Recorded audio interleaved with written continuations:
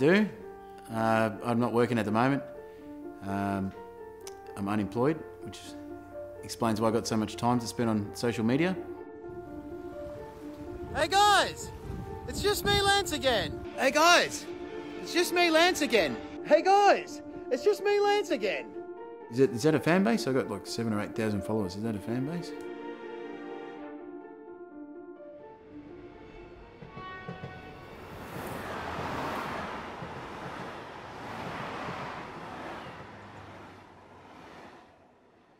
Don't think I was ever really a bad person.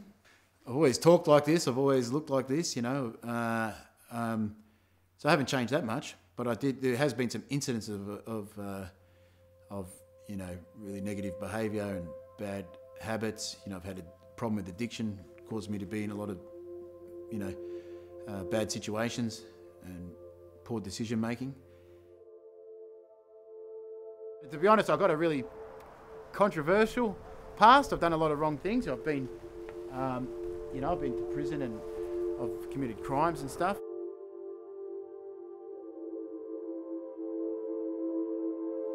I mean, I was charged and, um, what do you call it? Went to court. I think it was uh, about a week or two I was in court. And uh, jury said not guilty, and then I went home. Um, and so, I don't know, I mean, what more can I say? Do you know? Um,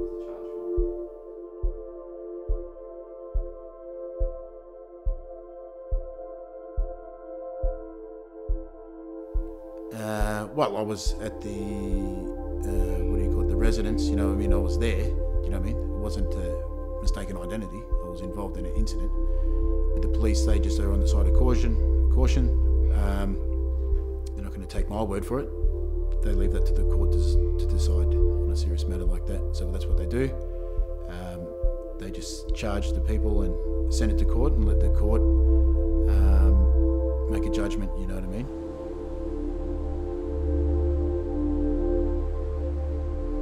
Yeah, so what I found is um, I found that it's not a good idea to be friends with anyone that's a criminal. You know, they may seem charming and whatnot, but it's just not worth the hassle. You know, and these people that literally preach loyalty, loyalty, loyalty all the time turn out to be the most disloyal people on the planet.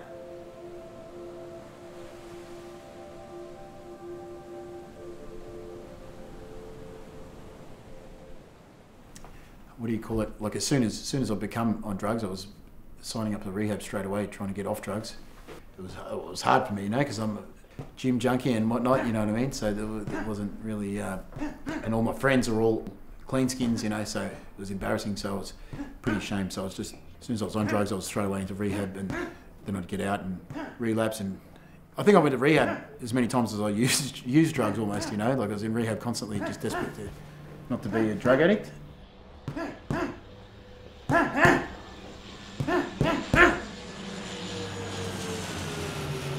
had a slip up, you know, and then my friend Mano, he flew to Melbourne, picked me up, and what do you call it, flew me to Tonga, where he's from, and then flew me on a small plane to a remote island called Vavale.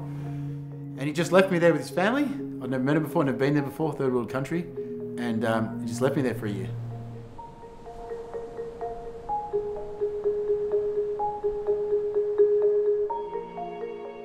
Um, so I work for Guard Wilson Lawyers, and obviously Lance is collateral damage on that relationship.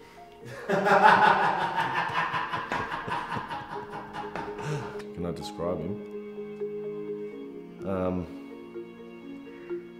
Lance, believe it or not, is a do-gooder.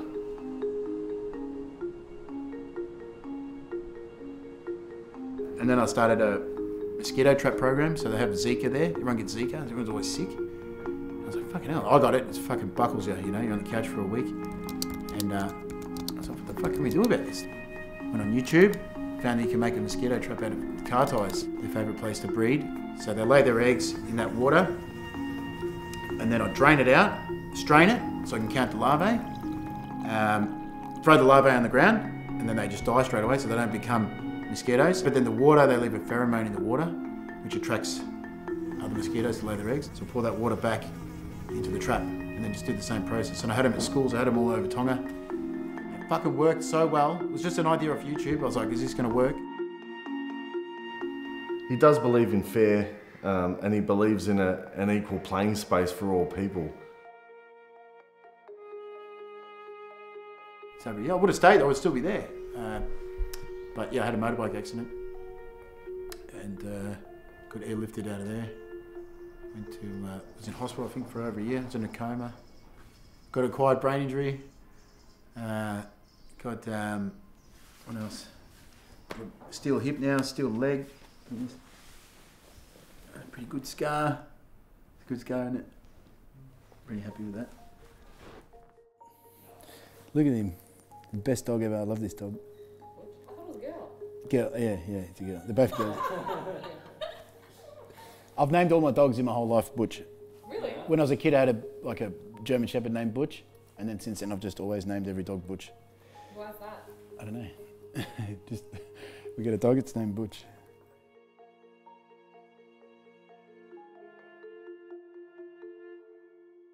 Trying to always find something that I love to do. Trying to always.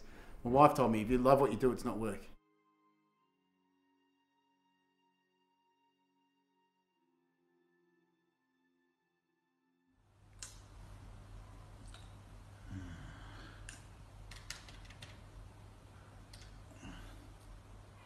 Lance, what are you doing? Hang on, I gotta work out these sums. What sums? I'm just working out how many um, how many fans I got. Just working out you just keeping a record. What you want? I mean, you want to you want to figure? Got a figure? What?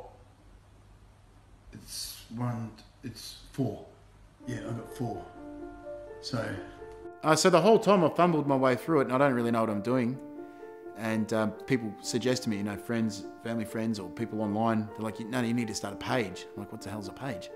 I'm like, "What do you mean, what's a page?" So I got my neighbour, a uni student. I got him to start the Lucky Lance page. Then I'm constantly going to his house, getting him to start me on TikTok and Instagram and YouTube. And so I get people to help me with it. I'm really computer illiterate, which is ironic. Hey guys, it's me, Lance again. So I got the TikTok. I downloaded it. And what the fuck do I do now? What am I supposed to do? Let me know. See you guys. Yeah, I suppose it's comedy, yeah? It's comedy and try to sneak in a socially responsible message at the same time, hopefully. Hey Lance, have you joined a motorcycle gang? Well, I looked into joining, I found out they're all fucking weak cunts. I'm pretty happy with the success. I think I tried to add up the views. It's I think it's close to two million views all up in, in about six months or a year or so. So that's pretty cool. But then when you look at other people online, it's nothing. It's peanuts. So uh, I started with the Facebook and uh, making fun of the some of the inconsistencies with the coronavirus. You know, with the with the media. In the Australian state of Victoria, COVID cases continue to rise, reaching its peak at 686 cases in a single day yesterday. The Victorian government has become under pressure from the public for its handling of the coronavirus, largely on social media platforms like Facebook and Instagram. Fucking Australia, you know, dumbest nation in the world. Believe everything that's in the media. Fucking idiots, mate. Idiots, mate. It's a fucking virus. It's like the flu. You know what I mean? And it'll blow over like everything else, Ebola and all these other things. To my surprise, the hospital is a fucking ghost town. It's empty. Negative stats. You want to talk stats? You've been watching Channel 7 News, mate. Here's some, here's some I prepared earlier. Stuff you won't see in the news. New cases of corona dropped lower than they were two weeks ago. Don't hear much about that. And then I kept on that theme, and then I seen Dan Andrews was telling a few fibs. so I'd, you know, start making videos about it, making fun of them when they're caught out lying or exaggerating. As public opinion begins to turn against Victorian Premier Dan Andrews due to the ongoing hotel quarantine inquiry, conspiracy theories linking the Chinese Communist Party to the Premier have emerged online. Look at my new flag. What's that flag? That's a new country. Australia. Um, you know, he got busted with a whole heap of lies. So, I mean, even some of his supporters are turning on him. So we've got to worry about his mental health. I was having good fun. And then I noticed the activists, you know, so all the activists With COVID 19 back under control following Dan Andrews' successful lockdown, activists across social media are staying strong in their unhappiness with his actions during the outbreak. Hey guys, it's just me, Lance again. I wanted to do a quick video and send a message to all the people upset with me for calling out all the activists, all your heroes of the day, and then I You know, I do my homework, I find them to be a scammer. All the, all the different activists online. I was watching them. Like fuck, now they're lying. You know what I mean? So, and they're talking about the mainstream media lying, and you're fucking lying too. You know, I was like, Jesus. Uh, then it come to my attention that uh, you'll find almost all, if not all, of the current um, activists, or you know, or, or independent journalists, you will find a GoFundMe account for, I dare say, all of them.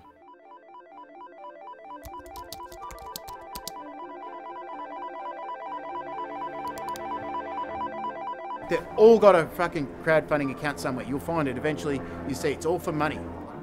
Uh, my exposure to them has mainly been via Lance, obviously um, investigating him and, and, sort of his, his efforts to call them out. So, um, what have I seen? I've seen lots of people uh, trying to induce the public into making donations without any real legal basis on success of the um, of the cause. Hey, lucky Lance.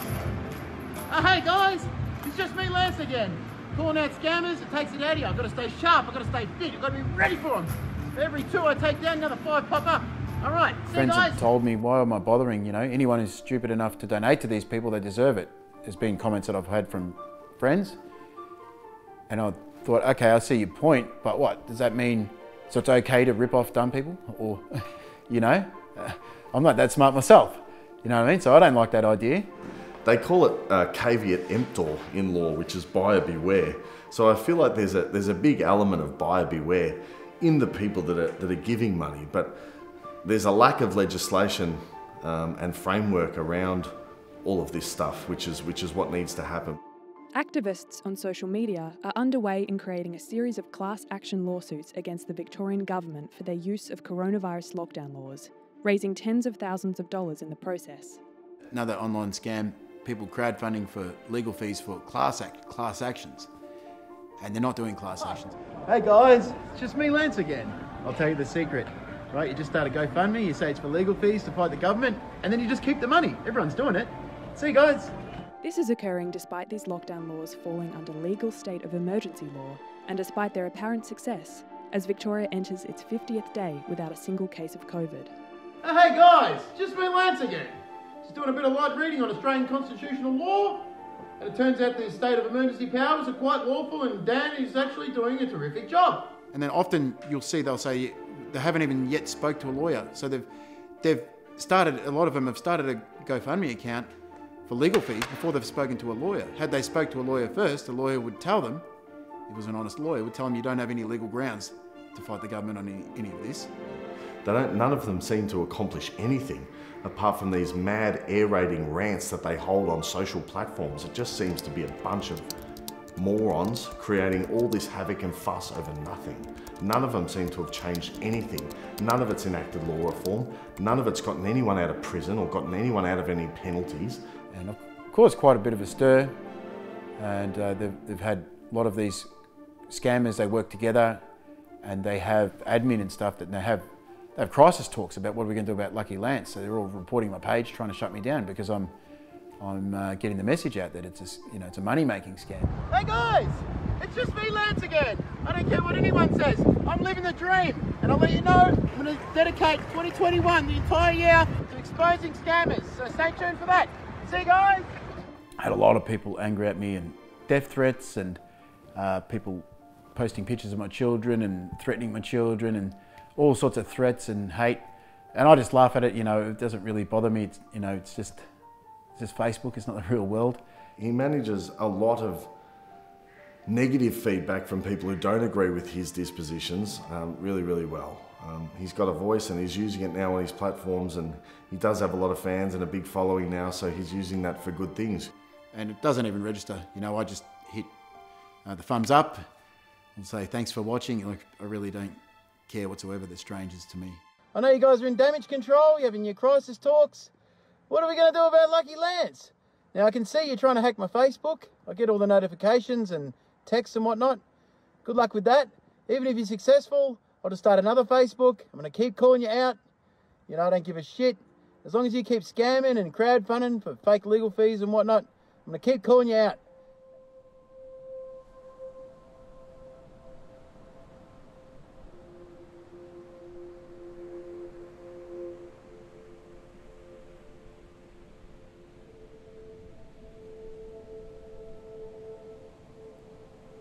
Crowdfunders and the scammers online that people have been donating to for a, re- for a regular basis for a long time and been conned, and then they'd watch my content, and after a while, you know, they'd sort of real, you know, they'd realised, and then so I've had so many people thank me, thank you, I've, you know, I've woken up now.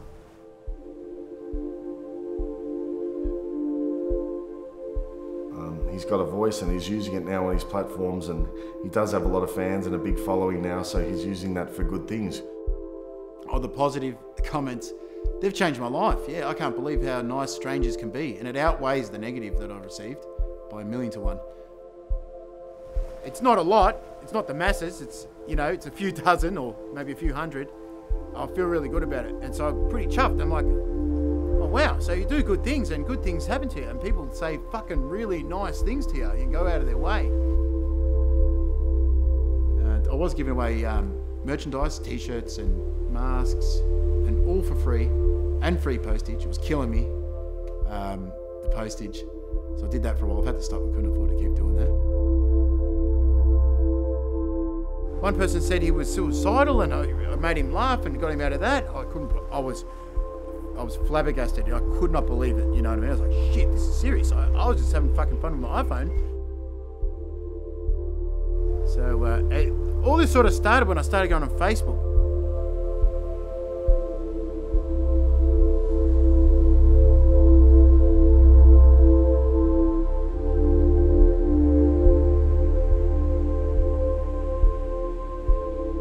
Suppose uh, um, I'm looking for a bit of redemption. I don't know. Y- You know, I sort of want to make up for it, sort of thing. I don't know what the words are, but I figure, um, yeah, turn it around. You know what I mean? Have a fresh start and and and make up. You know, make up for things I might have done wrong or did do wrong. So you lose a few years. Um, you know, with addiction, you lose time. You know what I mean? So then, in that time, you're not accomplishing anything. So I'm, I'm pretty, uh, pretty behind the eight ball in terms of accomplishments with my life. I think, oh, okay, I better catch up and try to do some positive things with my life and try to find my place in the world and try to be positive and yeah, so pay it forward, all that sort of thing.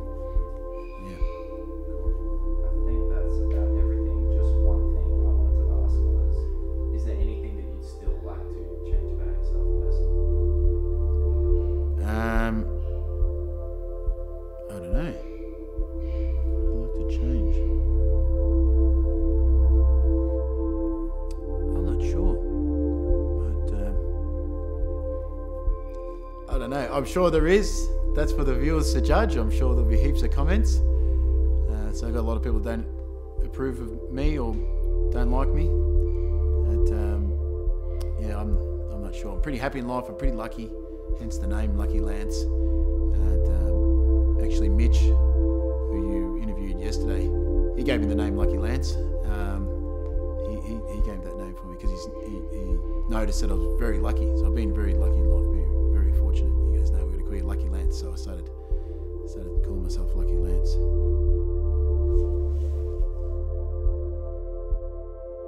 And, and I'm just a guy with a shit. You, you're holding it, a shitty cracked iPhone. That's it.